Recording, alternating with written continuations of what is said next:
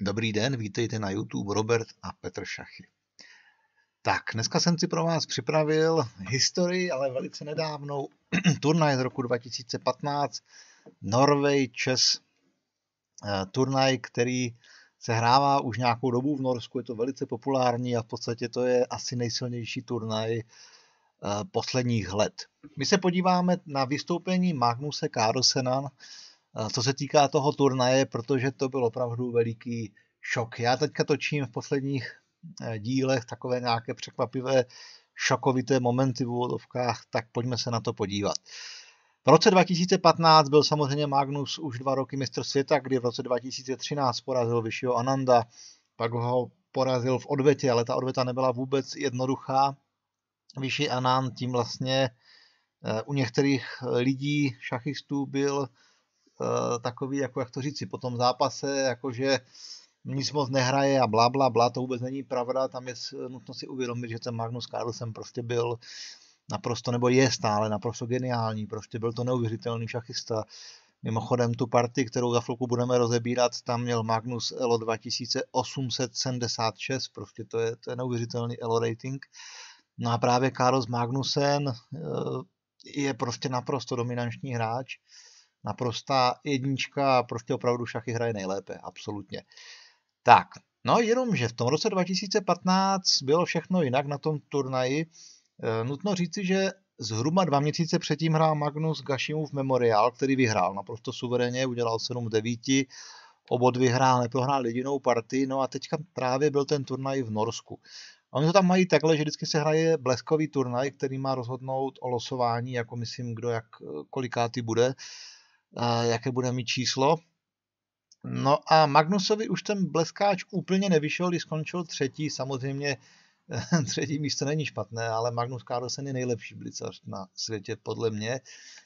Samozřejmě někdy nevyhrál třeba to mistrovství světa, ale obecně to vyhrává opravdu blicař, je, je naprosto excelentní. No ale pak přišel ten turnaj, no a to byl opravdu velký šok, protože v prvním kole prohrál s Topalovem, a celkem kuriózně, protože neudělal 61. tah. Stál na výhru, nicméně ta výhra nebyla vůbec jednoduchá, ale objektivně stál na výhru a prostě neudělal 61. tah, on si myslel, že se tam přidává čas, on se ne, nepřidával, takže vidíte, že i mistr světa někdy eh, nezná přesně, eh, nezná přesně pravidla a prostě prohrál na čas. To bylo velké překvapení. No ale ještě větší překvapení přišlo druhé kolo, když prohrál s Fabi Caruánou zahrál Berlína, udělal tam pak hrubou chybu, no a potom ten Fabi Caruana, který už samozřejmě v té době hrál fantasticky, mu nedal žádnou šanci a vyhrál. To byl obrovský šok, že začal dvouma programa, pak remízoval a pak pozor, on prohrál další party, prohrál s Anandem. To znamená Magnus Carlsen, mistr světa, super hráč, absolutní světová jednička, začal půl bodu ze čtyř. Jo, toto je neuvěřitelné. Já si myslím, že uh, možná si to pamatujete, protože tehdy to byl takový poprask v tom šachovém světě. Bylo to neuvěřitelné, že takový player prostě začal půl bodu ze čtyř na domácím turnaji v Norsku. Byl to ohromný tehdejší šachový šok. No a my se na tu partii podíváme, podíváme se, jak právě Vyši Anand porazil Magnuse Carlsena a ta partie jenom ukazuje, že Vyši Anand byl strašně nebezpečný hráč. V té době měl rating přes 2800 Jenomže uh, Magnus, jak jsme si říkali, prostě byl lepší a ty dva zápasy mistra světa vyhrál samozřejmě zaslouženě. No ale tady kosa narazila na kámen. Tak pojďme se na tu partii podívat. Tak, Vyši Anan měl bílé figury z LN 2804, Magnus Carlsen měl černé figury z LN 2876. Ta partie je docela složitá, já se vám pokusím ji nějak uh, srozumitelně vysvětlit. Tady zahrál teďka uh, vyšší Anan D3. Vyjde se klasická uh, španělská obrana nebo hra je prostě věž E1. Jo, teďka si kryje toho pěšce, takže on už hrozí zahrát střelec bere C6 a kuň bere E5, předtím by vysel ten pěšec na E4, takže tady se hraje B5, celkem výhradně střelec B3. A tady má černý volbu, buď zahraje D6, anebo udělá rošádu. Rošáda je pozvánka do Marshallova eh, gambitu nebo útoku, nebo jak se tomu říká, jo. To je to ED5, kun D5, kun BD5 a tak dále. Samozřejmě může zahrát jednoduše D6, C3 rošáda, H3. No a tady ten černý má spoustu možností, jo. může hrát Brejera, to je to kuň B8, kuň D7, k tomu se pak dostaneme, může zahrát tady kuň A5, to je zase eh, ten Čigorin, jo, může zahrát CB7, běž E8, to je Zajcev, může zahrát H6, to je Smyslov. Tady těch systémů je fakt opravdu hodně.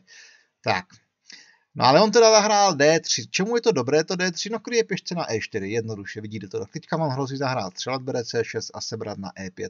To je takový jako jednoduchý systém, vyhýbá se tady k nějakým variantám. Mimochodem hrál to i hodněkrát bílýma právě Magnus Carlsen. Tak, on zahrál ale kuš. Teďka se omlouvám, vidíte to, omylem jsem klikl na šipku, která mi to dala úplně nakonec.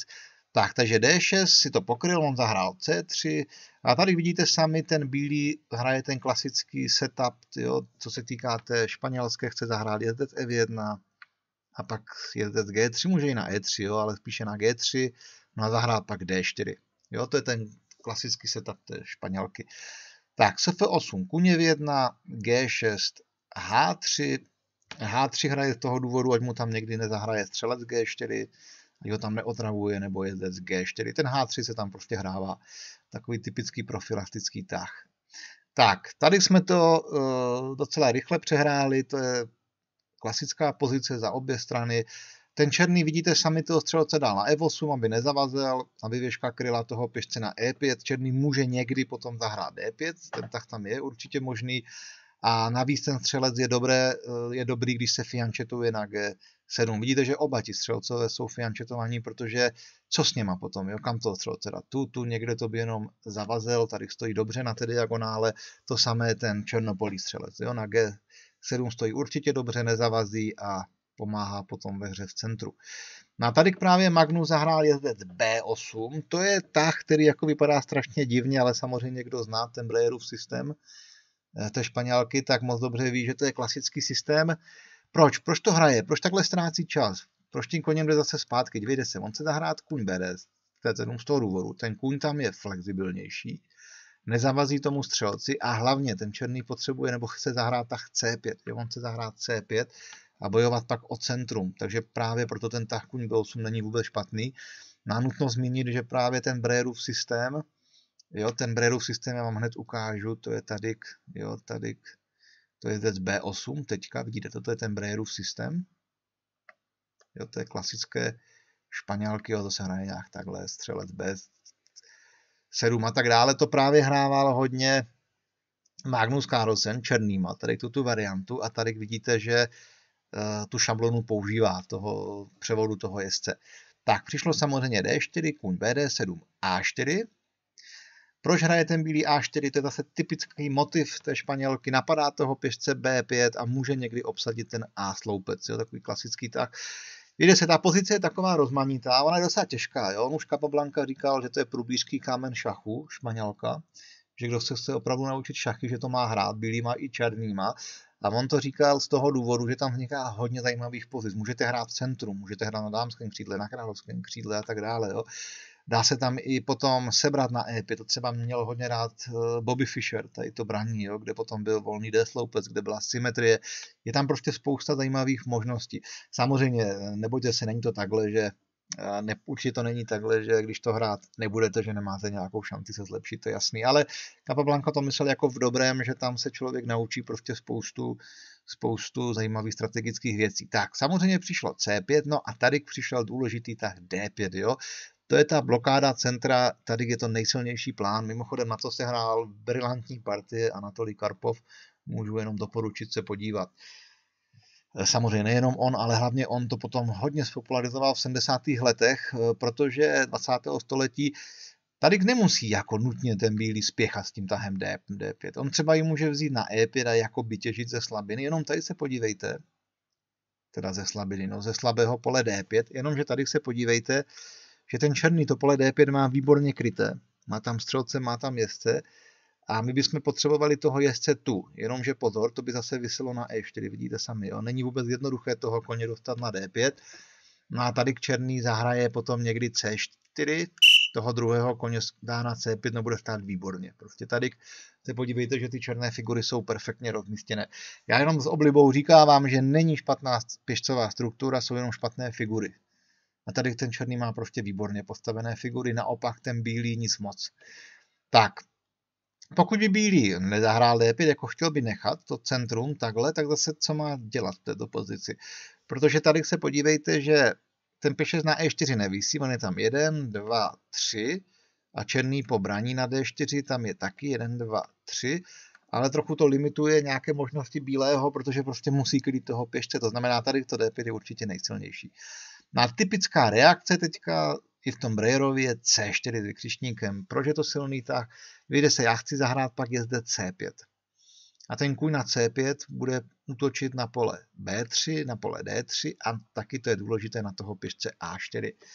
Já vám jenom řeknu, že jenom krátce ukážu, jenom tady zahraju třeba střelec G7, tak po B4 C4, jenom chci vám ukázat, neříkám, že to jsou nejlepší tahy, střelec E3, tak podobnou pozici brilantně vyhrál eh, Robert Fischer, když hrál ten odvetný zápas s Borisem Spackým, to byla ta první partie, tak tam pak Bobby použil ten plán, mimochodem ono i Karpov potom použil, že se potom strojil na tom A sloupci, jo? věžku dal na A3, druhou věžku na A2, pak dá mu na A1, tomu se říká takzvaná Alechinova baterie, na tam ho potom zabil, na tom dámském křídle a přes slabinu B5. Ono to samozřejmě trošku jsou takové těžší věci, jo, on potom převedl toho koně na A3 a tak dále a tak dále.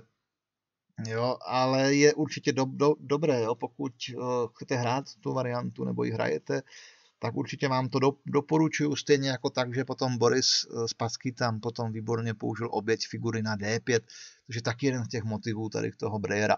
Ale to už jsme, to už jsme asi trošku daleko. Takže, takže C4 je určitě správný tah, přišlo střelec G5, Střelec G7 na dáma D2, to je klasická myšlenka bílého, může někdy zahrát střelec H6, Tady ty karty jsou rozdány jasně, bílí se snaží útočit na krále. Dívejte se, vždycky, když je blokované centrum, což tu je, tak centrum už hrát nemůžete, jo? když je blokované, tak je nutno hrát na křídle. No a tady ten černý hraje na dámském křídle, bílý hraje na královském. Tak on zahrál věž B8, no a teďka vynikající typový motiv této pozici, to vám, to vám doporučuji si zapamatovat, tady kuně H2 s vykřičníkem, to je velice silné. A proč teďka? Proč tento tah? Za prvé, ten kůň na F3 nic moc, jo, co on může, nic prostě, jo. Kůň H2 je velmi silný tah ze dvou důvodů. Jednak já můžu koně mít na G4, napadat bod F6, ale můžu i na H6. To je jedna věc. A stejně důležitá je, že bílý to má F4, jo, má tu důležitý tah potom F4 s útokem na toho černého krále, takže to je moc hezký tah. No a tady v tento moment to začal hrát Magnus nedobře, zahrál střelec C8, to nebyl dobrý tah. Vyjde se, on měl zahrát buď profilaktický H5, nepustit prostě toho koně na G4. Je pravda, že trošku oslabuje toho krále, zase na druhou stranu má tam střelce, jezdce, druhý jezdec je taky jakoby připravený jít do obrany, jo, takže to H5 mohl, a nebo měl jste vazby odejít, jo, tady k toho střelce, vidíte sami, to je nepříjemná vazba a měl třeba zahrát dáma B6. Mimochodem tím brání i tahu F4 je tam vazba a může někdy napadat pěšce B2. To střelec C8, vyjde se, on ten tah střelec C8, proč ho zahrál Magnus? E, v těchto pozicích, když se takhle zblokuje centrum, tak ten střelec tu stojí špatně, prostě vidíte sami. Však jaká je jeho úloha? Žádná, on jenom buší do těch pěšců. Takže ten tah jako není špatný z tohoto hlediska. On chce ty figury přeskupit, on chce zahrát jezdec C5 a toho střelce dát na D 7, kde, kde už jednak bude hrát na tom dámském křídle a jednak na D7 bude kontrolovat tu, diagonálu. To znamená, ten střelec tam bude e, daleko lepší. Jenomže tady to prostě není dobrý tah konkrétně, protože přišlo kůň G4, no a tady k vyšších se dá prostě šach, se zahrál jezdec H6 a ostřelovat toho krále. Jo. A co má dělat teďka ten černý? Může zahrát H5 teďka, nicméně přijde šach, jo, teď vysí na F, 7, takže on musí král F8, brát na H6, to potom uvidíme v partii, ale v tahem H5 by to byla ještě horší verze. On to vezme na B5 a zahraje F4 s vykřičníkem. No a tady je to právě problém, jo? protože ten král, vidíte sami, po věž F1 se dostává prostě pod těžký útok těch bílých figur. No a ještě kdyby zkusil H4, tady jako zajímavou myšlenku, protože na střelec bere H4 vysí ten jezdec, no jo, ale on to vezme na E5, On to vezme, jo, protože mu vysel jezdec a teďka on jednoduše ustoupí, tak toto je špatně. Jo, toto je velmi špatně. Ono ta pozice samozřejmě je taková ještě jako komplikovaná, je tam spousta figur, ale strategicky to je dost blbě. On jednoduše může pak ustoupit králem a plán je strašně jednoduchý pro toho bílého, prostě se zdvojit jo, na tom F a ten tlak po tom F sloupci je naprosto zdrcující. Tak, takže on teda zahrál je zde C5, no a teď samozřejmě přišlo kuň H6 šach. Jo, a tady Magnus určitě to bral s těžkým srdcem, jak se říká, ale co má dělat. Jo? Kdyby zahrál krále 8, tak opět je tu ten plán s tím F4, jak jsme si ukazovali, pak potom F sloupci, no a je to špatně. Takže on zahrál střelec bere H6, střelec bere H6, no a B bere A4. A to je ještě skvělá idea toho Magnuse Carlse na 210. A pozice teďka je blbá pro toho černého, jednoduše řečeno. Proč? Protože bílý stále plánuje dát mat tady tomu králi, jo. Plánuje útok na krále, no a tak teďka bez toho domovníka, jak se říká, toho černopolého střelce, to vypadá dost bledě pro toho černého krále. Jo. Bílý prostě tam dřív či později připraví tah F4, jo, zahraje věž F1, věž A na E1, třeba F4, možná i F4 hned, no a přes ta slabá černá pole je to fakt problém pro toho černého krále. Takže tady Magnus okamžitě bere na A4 a okamžitě jde na protihru. Tak, přišlo věž A2, A3, no a tady zahrál B, bere A3 já si myslím naprosto správně, mohli obětovat pěšce, jo, ale uh, zase teďka s tím plánem věž F1, jo, zahrát věž F1, F4, ale tak je to takové prostě proč dávat pěšce. To bere A3 je v pohodě, jo. Tady ten bílý v momentě, jak eh, uhasí ten požár na rámském křídle, což se mu samozřejmě podaří, tak potom se vrhne na toho černého krále. Tak, tady zahrál kůň FD, 7 černý, no a samozřejmě F4, jo, správně, útok na krále. No a teďka tady byla eh, taková zajímavá možnost, samozřejmě možná i teď vás to napadne, nemůže, pozor, pozor, počkat, po F4 nemůže zahrát dáma H4, když vysí střelec a vysí jezdec. No může, jo, on to může. Ale samozřejmě s tím oba borci počítali. Přijde střelec G5 a věž E3, jo, a dáma je chycena. No a tady k se, on může tu dámu obytovat takovým způsobem, že zahraje E bere F4, věž bere G3, F bere G3, jenže po střelec H4 je to úplně blbě, jo, protože on dobere na G3 toho pěšce, bude vyset na D6, vidíte sami, a ten král je strašně slabý. Tady je ještě zajímavá varianta, zahrát dáma bere F4, prostě obětovat dámu, jo, za dvě figury a pěšce. Já věřím tomu, že kdyby byla bleskovka, tak do toho Magnus půjde. Ono dokonce i ve vážné partii by to nebylo špatné, ale jen a pouze tehdy, pozor, teďka musím zdůraznit, kdyby ten střelec byl na G7, kdyby byl černopolí. Protože tady se podívejte, jde strašně moc ta černá pole. Jo? Černý samozřejmě plánuje zahrát jezdec E5.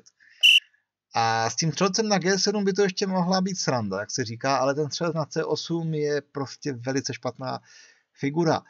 A tady je to zase zajímavé, někdo může říct si, a proč, jak ten pěšec je na černém, no jo, ale to je právě díky těm pěšcům, vidíte, oni úplně omezují toho střelce, on ho prostě nemá vůbec kde dát, jo, na G7 by to bylo jiné kafe, tady by ten střelec vstál daleko lépe, pálil by na toho pěšce C3 a to by ještě nebyla taková sranda. Tak, ale já si myslím, že o tom Magnus hodně přemýšlel v této pozici, ale samozřejmě z toho důvodu, jak jsme si řekli, do toho nešel. Jinak on už musel cítit velice dobře, že ta pozice je špatná. Jo. Mimochodem, já jsem měl možnost několikrát Magnuse Carlsena vidět jak mluvil eh, o různých pozicích, byly i turnaje, teď si nespomenu z hlavy, kde bylo volné kolo a on tam třeba hodnotil ty pozice, tak to měl brutální, teda fakt to jako těm pozicím rozumí neuvěřitelně. Jo. Prostě tak je to samozřejmě taky uh, naprostá suverénní jednička a šachový genius prostě, ale jako to hodnocení má brutální, to znamená, on teďka moc dobře věděl, že už bojuje o život. No, on teda zahrál A5, tady k Baborať, jo, proč hraje A5, aby se někdy mohl třeba toho pěšce pokrýt po střelec A6, jo. Problém tady je ten střelec, vidíte, toto to je zoufalec, jo, on jako co, co s ním, jo, tak aspoň na A6 hodat, jo. Tak proto zahrál A5, přišlo věž F1, no a tady k F6 je pravda, že pasivní obrana tu je špatná, jo, ale obecně, jako to je asi už prohrávající tah úplně, ale Baborať, on měl teda zahrát asi kuň B3, a na dáma F2, dáma F2 není jediný tah, jo, ale může to zahrát dáma B6, prostě jít do takové koncovky. Nicméně i tady po věž F6, jo, teďka vysí ten P6, on si ho kryje, věž B2, je ta pozice špatná pro toho čer, černého. Samozřejmě ono se to tak nemusí zdát na první pohled, ale trpí ten černý pro slabost toho pěšce D6 a samozřejmě ten bílý má strašně silného toho černopolého střelce, má tu bílý jasnou výhodu, ale ještě to není tak úplně jasné. Jo? V partii uvidíte sami, to byl masakr potom. Tak, takže on zahrál F6, no a tady vyšší zahrál samozřejmě F5 s vykřičníkem. Jo? Strašně silný tah. Mimochodem podobně právě to hrál i Karpov. Jo? Takhle třeba uh, zabil Unsikera. Tak, přišlo jezdec D3, kdyby zahrál G5, přišlo by H4, G bere H4, kuň H5. No a tady je ten černý král je KO, vidíte sami, jo, to nemá šanci přežít. Takže kun D3, on to sebral, no a teďka zahrál vyšší dáma D1, je zajímavé, jo, on chce rychle prostě přesunout tu věžku na F2, ale mohl vzít toho pěšce, úplně v klidu ho mohl vzít, protože kdyby tady zahrál dáma B6 šach a střelec A6, zahraje C4, no ten král prostě nemá šanci. Ale je pravda, že čistě lidsky, asi si říkal, co když mi teďka skočí dáma B3 a bla, bla, bla a tak dále. Jo, já si myslím, že ten tah dáma D1 je takový prostě, že nechce vůbec dávat proti tomu černému nějakou protihru. Tak on zahrál věž E7, a tady si podívejte, věž A na F2, jo, ty věže tu stojí výborně. Tak, no a on teď zahrál věž F7. Vidíte, že takhle ten Magnus přesunul tu věž do obrany. Musí na bílém poli právě kvůli tomu střelci na H6. Mohl zahrát G5 teďka, jenom že zase přijde to H4. A tady se podívejte, co by ty bílé figury velmi rychle provedly s tím králem. Jo? Král F7 na král H8 je H5, jo? zase se strašným útokem. A když tím králem bude utíkat, jo? kdo uteče, ten vyhraje, tak tady teďka přijde pěkné kuň H5 a střelec G7 a vidíte, že on neuhájí jo, ten bod F6 nebo respektive toho pěšce na F6. Zajímavé, že dáma H8 se 7 to se málo kdy vidí.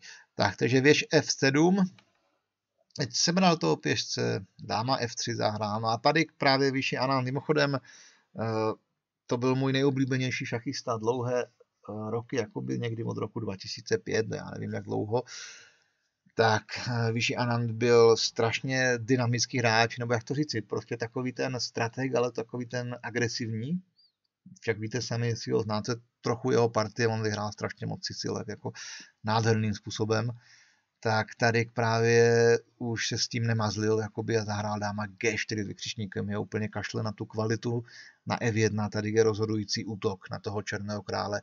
To si myslím, že pro toho vyššího byla malá násobilka. Musel být trošku nervózní přece jenom, protože s Magnusem hrát eh, je vždycky těžké, ale tady už to byla pro toho vyššího prostě snadná práce. Zahrála H4 s vykřičníkem, no a tady se podívejte, černý má věž proti střelci a pěšci, ale ta pozice je celkem jasně vyhraná pro toho bílého, protože právě rozhoduje slabost krále a taky to, že ty bílé figury, ty lehké bílé figury stojí výborně. Tak on zahrál dáma D7, přišlo H, bere F, bere, a teďka vyšší zahrál dáma H5, může být, mohl zahrát i úplně jednoduše střelat bere G5, no a má už dva pěšce za kvalitu a ten černý král je na tom strašně špatně. A dáma H5 není špatný tak, teď zahrál F6, on zahrál věž G8, dal mu šach na G7, vlastně to byla celá ta idea, jo, ještě když se podíváte tu, jo, protože teďka hned F6 nemůže, mu tam vysí dáma. Jo. Takže to byla celá ta idea zahrát dáma H5, pak F6, no a střelec G7 šach. Samozřejmě dívejte se, on po střelec G7 šach to musí vždycky vzít, protože nemůže uhnout králem, protože by pak dostal koně z F5 na H6, což by bylo zmatem, že jo. Tak, takže on šel věž G8 šach, No a tady pokud je v 5 se ještě zdá, jako, že jestli černý jako nemá šance na nějakou remízu vůbec, absolutně. Toto je gong. Právě to si vyšší výborně spočítal. On zahrál Magnus dáma G6 do koncovky, ale uvidíte, že i ta koncovka je úplně KO. Ale tady není prostě už nic dobrého. Na dáma F6 by přišel pěkný úder kuň E7 s vykřičníkem, kdy vysí dáma, vysí věž. Takže on musí zahrát dáma bere E7 a věž F7. A teď vidíte, že vysí dáma, No a hrozí jednotahový mat na H7, takže on tu dámu musí dát. No a padek sice může dobrat toho centrálního pěšce, ale po C4 je to úplně KO. Jo, to je pak tam má někdy motiv zahrát C5 a tím D pěšcem prostě utíkat s tím, že ten král, vidíte sami, to je taky strašně slabý. Měl bílý tu stojí úplně na výhru, takže Magnus tady, která zvolil volil jinou cestu, jo, ale tady všechno špatně zahrál dáma G6. A tady právě, to si pamatuju do teďka, takové jako překvapivé řešení, ale, ale a naprosto krásné. Dáma bere G6 jako překvapivě, co mu mění dámy, jenom že povíš bere G6, jo, teď tady vysí P6 na D6, takže on si ho kryje, věží, přijde kůň E7 vykřičníkem. No a tady zahrál Magnus Carlsen do smutný tah král G7, dívejte se, proč to věžkou neuhnul. Jednak na G7, kdyby uhnul, tak je tam hned věž F8, vidíte, a e, mat, jo, musí věž G8, věž bere G8, mat. No a kdyby teda šel věž H6, tak přijde šach, věž C8, a teď nemá nic lepšího než věž F6, protože já hrozím vidli teďka. Jo, ty, jo, to prostě ta spolupráce jezdce z věží tady je úplně neuvěřitelná. Naopak ty černé figury jo, jsou naprosto bez souhry. Takže eh, věž F6, jo, to věžkou jo, na H4, kdyby šel aktivně, tak zase je tam vidle, takže věž F6. Šach musí ustoupit, no a kuň bere D6 a toto je úplně, úplně prohraná uh, koncovka, že jo. Takže on zahrál král G7, přišlo jezdec bere G6, zahrál ještě A4, C4, no a tady po H5 král F20 vzdal. Vůbec mu nevadí, že ztratí toho pěšce, napadne pak toho koně a získané pěšce na D6, samozřejmě s úplně jasně vyhranou pozicí. Takže vidíte sami, takhle ten Magnus Carlsen dostal, jo, jak se říká, do řepy. To byla krásná partie od toho vyššího Ananda. Tady rozhodl ten plán toho útoku. Mimochodem to je partie taková i velmi vzorová, protože ten Anand provedl ten plán úplně přesně, jak to prováděl právě třeba Karpov, jak jsme si říkali, naprosto vzorově. Ta partie je velmi cená právě díky tomu, že Černýma to hrál eh, samotný mistr světa Magnus Carlsen, ale vidíte proti, eh, proti silnému plánu prostě a proti znalosti takových, eh, jako takové samozřejmě super znalosti toho vyššího Ananda, ale nemyslím si, že něco zase Eh, neuvěřitelného, prostě neměl žádnou šanci. Je taková celkem perlička na závěr, že Magnusovi se v Norsku až tolik nedaří, samozřejmě, co tam i vyhrál, ale taky si pamatuju, jak tam hrál olympiádu, tak tam hrál taky, prostě mu to vůbec nešlo, jo. tam prohrál jako celkem překvapivě dvě partie, samozřejmě několik vyhrál, ale na domácí půdě, ta domácí půda mu asi až tolik nesvědčila. Uvidíme, jak to bude eh, v budoucnu, ale vidíte sami, že i mistr světa Magnus Carlsen začal turnaj, navíc doma. Největší turnaj té doby začal jenom půl bodu ze čtyř partí. Vidíte, že i mistr Tesař se někdy utne a dokonce někdy třikrát. Tak, já děkuji za pozornost, přeju vám hezký den a brzy naslyšenou.